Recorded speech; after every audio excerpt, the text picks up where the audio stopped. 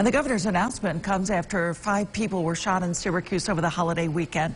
Some of the victims are teenagers. News Channel 9's Adrian Smith hears from all three Syracuse mayoral candidates about their ideas to deal with the violence in the city.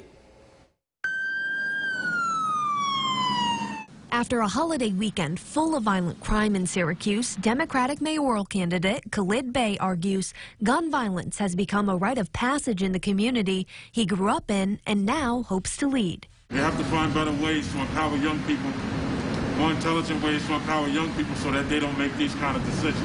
Bey thinks that empowerment starts at home and steps need to be taken in order to strengthen families. He also wants tax breaks for businesses in exchange for space to house Syracuse Police Department precincts located around the city. But Republican candidate Janet Burman doesn't agree.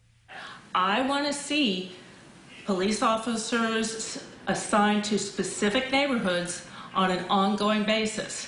And, you know, they, they don't need to have a physical uh, brick and mortar location.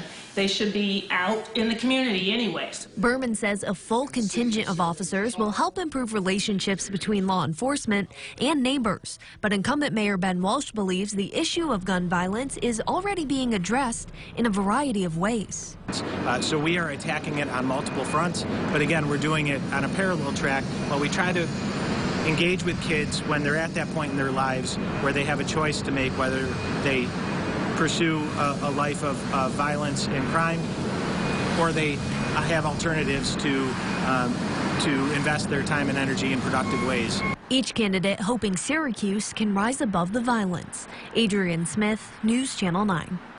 And another announcement today is a way to get guns off the street. The city of Syracuse and the Attorney General's office are teaming up to host a community gun buyback program. It'll be toward the end of the month. You can learn more about that event just head to localsyr.com.